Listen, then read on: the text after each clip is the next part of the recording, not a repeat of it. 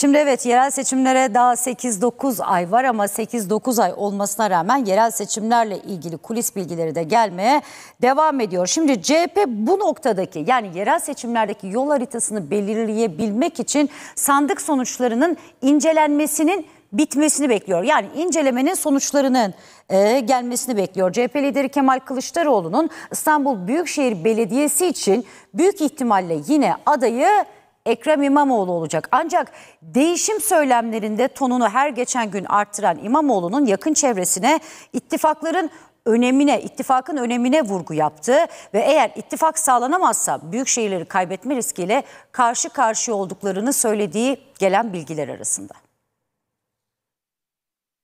Yine de bu farkın bu kadar düşmüş olması İstanbul seçimlerinin garanti olmadığını da ortaya koyuyor. Bir yanda CHP Genel Başkanı Kemal Kılıçdaroğlu, diğer yanda İstanbul Büyükşehir Belediye Başkanı Ekrem İmamoğlu. İki ismin de önümüzdeki yerel seçimlere dair kaygıları var.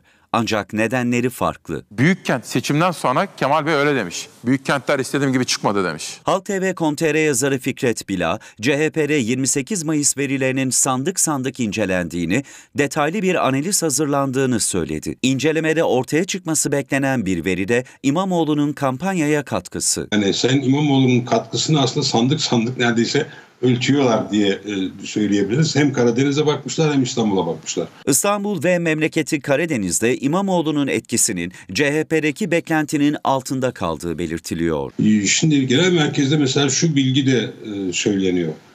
Dedim ya hani bölge bölge il il seçim sonuçları inceleniyor diye. Örneğin e, Sayın İmamoğlu'nun memleketi olan yani Karadeniz'de İmamoğlu'nun Cumhurbaşkanı yardımcısı adayı olarak mitinglere katılması çok coşkulu geçmişti. Ancak oylarda fazla bir e, oynama olmadığını söylüyorlar. Öte yandan şunu da ilave ediyorlar. Diyorlar ki İstanbul seçimini Sayın İmamoğlu çok başarılı bir şekilde yönetti ve 800 bin farkla e, kazandı. Ama bu seçimde e, e, bu farkın kapandığını görüyoruz diyorlar. 300 bine kadar daralmış bu fark Cumhur İttifakı lehine. Orada e, 2018'de 2019'da e, oylar neyse e, AK Parti'ye yönelik veya CHP'ye bunların üç aşağı beş yukarı aynı olduğunu, CHP'deki artışların da aynı olduğunu 2019'la 2018'de e, AK Parti'nin kaybettiği oyun da aynı olduğunu söylüyorlar. İmamoğlu'nun tonu giderek artan değişim mesajı, görevden kaçmam vurgusuyla partide başlayan rekabet önümüzdeki sürecinde belirleyicisi olacak. Değişimin sadece bir kurul heyet değişimiyle olmayacağını hepimiz biliriz. Kulağını buna tıkayarak e, yol yürümek olmaz. İki isim seçimden sonra ilk kez görüştü. Kılıçdaroğlu, İmamoğlu'na İstanbul'a odaklanması gerektiğini, yerel seçimlerde İstanbul'un daha yüksek bir oy oranıyla kazanılmasının önemli olduğunu anlattı. İstanbul'u almanın çok önemli olduğunu, e, Cumhurbaşkanı Sayın Erdoğan'ın bunu ifade ettiğini, İstanbul'u kaybeden Türkiye'yi kaybeder dediğini, bu nedenle de İstanbul seçimine Ekrem Bey'in aday olarak girmesi gerektiğini ifade ediyorlar. Kemal Bey de bunu Ekrem Bey söylemiş. İmamoğlu kanadındaysa tablo farklı yorumlanıyor. İstanbul Büyükşehir Belediye Başkanı'nın yakın çevresine yerel seçime bu şekilde gidersek büyük şehirleri kaybederiz dediği belirtiliyor. Üst üste üç kez seçim kaybettik.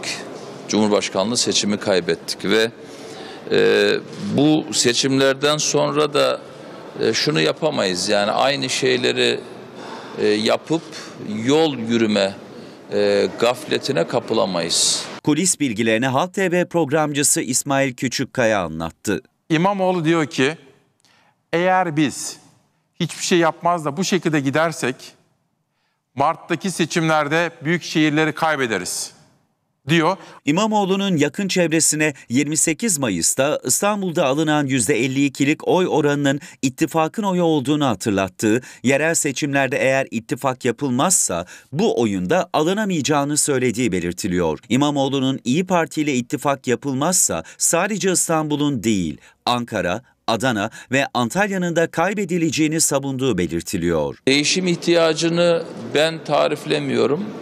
Bunu toplum tarifliyor, insanlar e, istiyor. E, kulağını buna tıkayarak e, yol yürümek olmaz. Kulağımızın açık olması, toplumun her kesimini dinlememiz ve her kesimin ne ses çıkarttığını, ne istediğini anlamamız şart.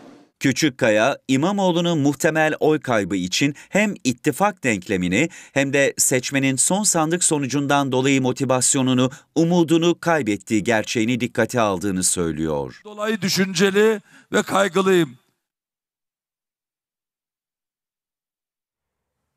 Ekonomik zorluklara yenik düşen o tiyatro kapanıyor. Müjdat Gezen'in Bahariye'deki tiyatro binası ekonomik zorluklar nedeniyle satışa çıktı. Önce haberi izleyelim ardından usta oyuncu, duayen oyuncu Müjdat Gezen'e bizzat kendimiz soracağız bu soruyu. Ekonomi sanatı da vurdu. Bahariye'deki Müjdat Gezen tiyatrosu satılıyor. Sanatçı Müjdat Gezen ekonomik zorluklar nedeniyle Müjdat Gezen tiyatrosunun yerini satılığa çıkardı. Halk TV programcısı Serhan Asker duyurdu. Krizin etkileri derinleşirken ışıklar sönüyor, perdeler kapanıyor. Geçtiğimiz yıl moda sahnesinden geldi haber. Elektrik faturaları ödenemeyince kapatılmak istendi. Bir süre karanlıkta oynandı oyunlar. Bu kez de Müjdat Gezen sahnesi. Gezen ekonomik olarak kaldıramıyorum diyerek duyurdu. Kadıköy'deki Müjdat Gezen Sanat Merkezi duracak. Bahariye'deki Müjdat Gezen Tiyatrosu'nun yeri satılacak. Şevket Çoruh, İlker Ayrık, Alper Kul, Ezgi Mola, Çağlar Çorumlu, Şebnem Bozoklu ve daha niceleri bünyesinden sektöre onlarca oyuncu kazandırdı. Haberin yayılmasıyla beraber Gezen'e destek mesajları geldi.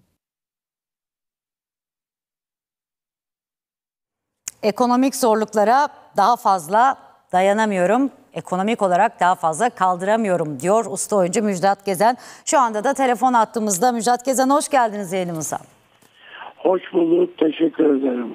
Şimdi e, birçok sanatçının, birçok oyuncunun mezun olduğu ve sizin de şu anda muhtemelen büyük bir gururla izliyor olduğunuz e, o oyuncuları sektöre kazandırdığınız bu tiyatronun önce kapatılacağı haberi ardından da hayır hayır kapatılmayacak binası satılacak haberi geldi. Bir işin doğrusunu ve gidişatını biz sizden öğrenelim e, sevgili Müjdat Gezen. Tabii tabii ben e, Serhan'ın bu 5 program cezasının kesinleştiğini öğrenince Serhan'a dedim ki geçmiş olsun üzülme, üzme kendini dedim. Onun da kafası dağınıktı. E, polis de beni çağırıyor abi gidip ifade vereceğim dedi. Çok üzüldüm ya dedi. Ne oldu dedi. E, tiyatroyu satışa koydum ben dedim. E, Bahariye'deki. E, Kadıköy yakasında artık dedim yani bir sürü yer böyle e, kapanıyor ekonomik. Çünkü bir kişilik oyun oynasanız bile elektrik parası, yakıt parası, e, oradaki personelin sigortası, stopajı falan yetişmenin imkanı yok dedim. Yani tiyatroyu e, satıyorum dedim. Ay çok üzüldüm abi sanat yuvası falan dedi.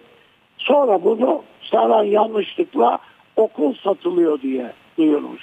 Okul Müjdat Gezen Sanat Merkezi Ziver Bey'de öteki Bahariye'de tiyatro binası. Ee, satmamıza imkan yok. Benim ölümümden sonra da okulun devam etmesi için her türlü garanti e, şeyler hazırlandı. Bir kere mezunları okulda müdür olarak çalışıyor, öğretmen olarak çalışıyor. Çok yüksek bir öğrenci potansiyelimiz var. Yani Müjdat Gezen Sanat Merkezi'nin kapanması, o adını andığınız öğrencilerin birçoğu okulda hoca zaten. Yani oranın kapanması ben hayattan ayrıldıktan sonra da imkan dahilinde değil. Ama tiyatroya maalesef artık gücüm yetmiyor ekonomik olarak. Ee, orayı satışa koydum. Yani tamamen tiyat tiyatro oyunlarının sergilendiği binadan bahsediyoruz Evet, değil mi evet. e, Evet, sevgili evet. Müjdat? Altı Ama yol Bahariye'de bu. Evet. Evet ama e, eğitim öğretime e, eğitimin verildiği e, şey devam edecek. Yani Müjdat Gezen Sanat Merkezi Tabii, e, tabii. gençleri Orası- yetiştirmeye, sektöre kazandırmaya tabii. devam edecek. Tabii orada 7 yaşından 70 yaşına kadar öğrenci okutuyoruz biz ve Tabii, o tabii, minikler tabii. yetişiyor. Orası Cumhuriyet'in, demokrasinin, sanatın merkezi olarak anılıyor. Ee, çok e, ilgi gören bir yer. Yani kayıtlar açıldığı gün kapanıyor bizde. Orayı Hmm. ben e, hayattan ayrıldıktan sonra da devam ettireceğiz inşallah. Yani ekibim devam ettirecek. Şimdi bir o, o, o kadar çok değer kazandırdınız ki bu sektöre işte e, biraz önce haberde de arkadaşlarımız hepsini sıralamışlar tekrara düşmeme gerek yok. E, muhtemelen bu haberi duyunca öğrencilerinizden de arayan soran var mıdır bu işin aslı astarı diye olmuştur herhalde. Bir de bunu ayrı ayrı izah etmek zorunda kalmayın diye e, ba- bağlanır mısınız diye bir sormak İyi istedik. ettiniz. Çok doğru bir şey yaptınız. Çünkü e, e, bu haberi duyuran e, Seda Selek de bizim okulun e, diksiyon, fonetik artikülasyon hocası. O da okulumuzda öğretmen. E, meslektaşınız sizin. E, okulumuz çok şükür yani orayı ben garantiye aldım. Ama e, çok yüksek bir öğrenci potansiyeli var. Ama e, tiyatro için dayanma gücüm bitti. Çok haklısınız evet yani e, iyi bile dayandınız aslında e, demek gerekiyor zannediyorum. 17 senedir. Evet. 17 senedir. Bu şartlarda Ama evet. Elektrik e, haftada bir iki gün oynuyorsunuz. Gelen elektrik parası ve yakıt parası hiçbir şey karşılamıyor.